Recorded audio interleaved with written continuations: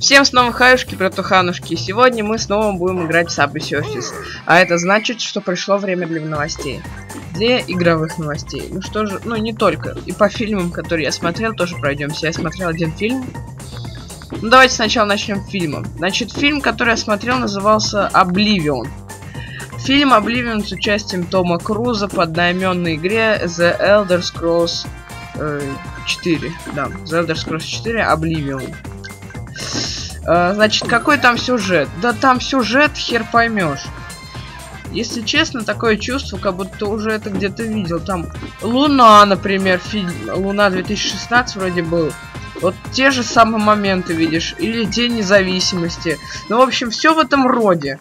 Все в этом духе. И как бы фильм Обливион там очень много сюжетных поворотов. Короче, расскажу там кратко. Главный герой, короче, со своей женой, им стерли память, живут на Земле, уничтожены инопланетянами.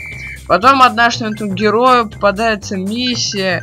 Он находит еще людей живых, как -то, которые упали. Ну, блин, как он так переска перескакивает? Которые упали фиг знает откуда. Э, в общем. Э, короче, он выживает только одну, которая выжи...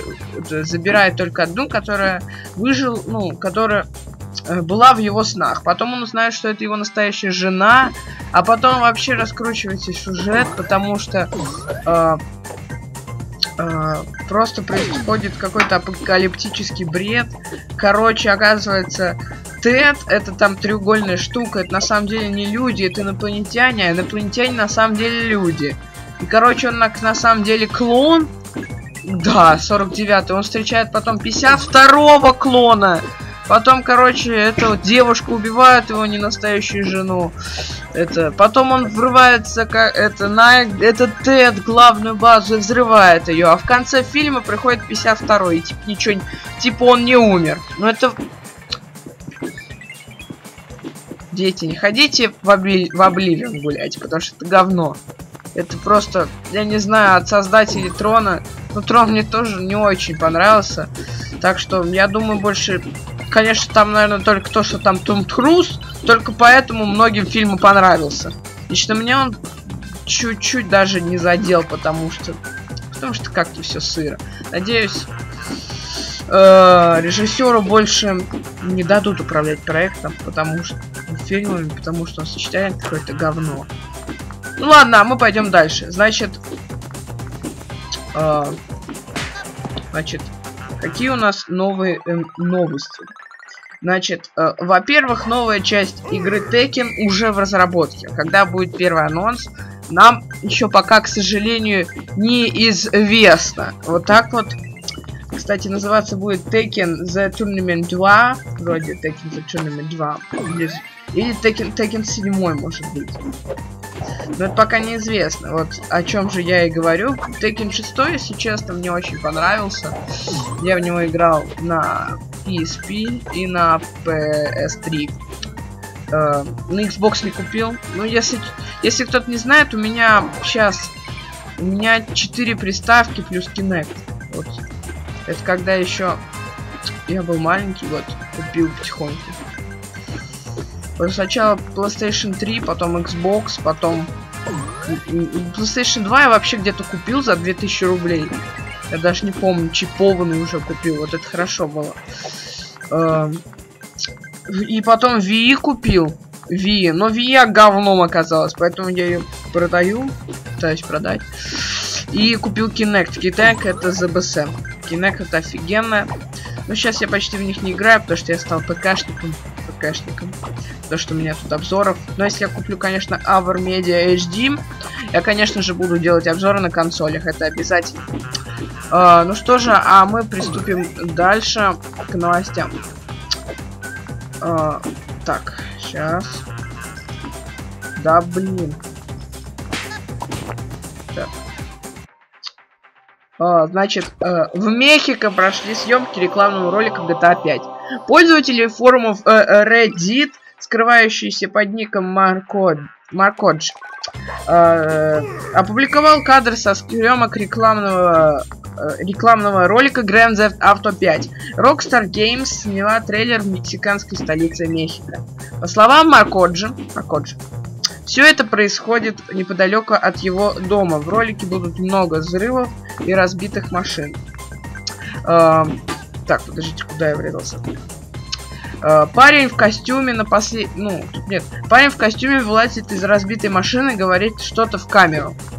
Э, автомобиль взрывается, и он идет в сторону. Так, автомобиль взрывается, он идет в сторону других машин под э, деревьями. Все это будет сопровождаться спецэффектами. Э, съемки прошли в эти выходные, 20-21 апреля. Публика далеко не сразу доказала, что происходит. Э, ситуация прояснилась после появления баннера GTA 5. Вот так. Э, в общем, э, вообще намечается новый 3 мая три трейлера сразу GTA. А, так что а, вот так вот будем ждать, конечно же, я жду, будем GTA 5 проходить с вами. Ну, теперь поближе о других играх. Call of uh, Duras uh, Gunslinger это игра про ковбоев, такая вот uh, очень крутая игра. Она выйдет в мае, да, она выйдет в мае. И, и 1C Soft Club выпустит полную русскую локализацию игры Call of Duty Gunslinger. Игру запланировали выпустить 22 мая на Xbox 360, PlayStation 3 и ПК. Собственно, в игры этой серии я не играл. Э, по крайней мере, наверное, Ганслингер я скачаю, мы будем с вами проходить обязательно, ребята. Ну а теперь э, следующим новостям. Э, о Half-Life 3 речи пока о анонсах, может быть, даже речи не будет идти, так как Valve официально заявил, что его на E3 не будет, то есть Half-Life 3 не будет. К сожалению, я не знаю. Но Half-Life 3 разработка уже подтверждена, но когда будет первый анонс, неизвестно. Ну что же, а теперь приступим к главной новости недели.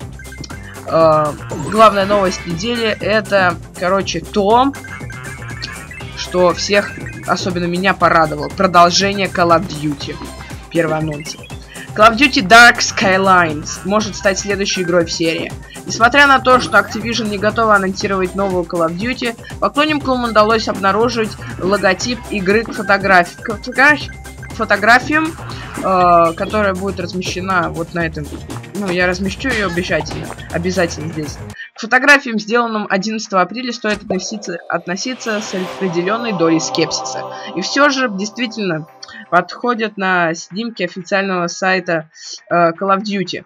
Э, обновленную версию которого кому-то удалось увидеть раньше времени. Обратите внимание на трейлер. Анонс новой Call of Duty Dark Skyline состоится 1 мая. Напоминаем, напоминаем, что Black Ops 2 официально представили в именно этот же день год назад. Dark Skyline, что в переводе Темный горизонт.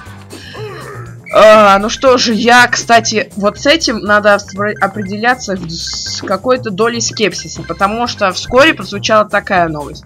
Магазин Теско опукли... Блять, сука. Магазин Теско опубликовал бокс-арт новой части Call of Duty. Магазин подтверждает слухи о том, что проект будет носить подзаголовок Ghost. И это приквел под сериалу Modern Warfare. Uh, анонс произойдет Call of Duty 1 мая, и мы узнаем, что это будет. Либо Call of Duty Dark Skyline, фотографию которой вы можете увидеть на этом обзоре, по-любому я тут сюда поставлю. Uh, Dark Skyline, или вы можете будет увидите uh, и, и увидите Call of Duty Ghost. Uh, Темный горизонт, Ghost, но это оба будет приквел к сериалу. В переводе Dark Skyline Темный горизонт, а Call of Duty Ghost призраки, что и намекает нам о приквеле к Modern Warfare. Но может Dark Skyline приквел к Black Ops. Я не знаю. Ну все, с вами был Black 325. И это все новости на данную неделю. Всем удачи, всем пока, берегите себя. Пока.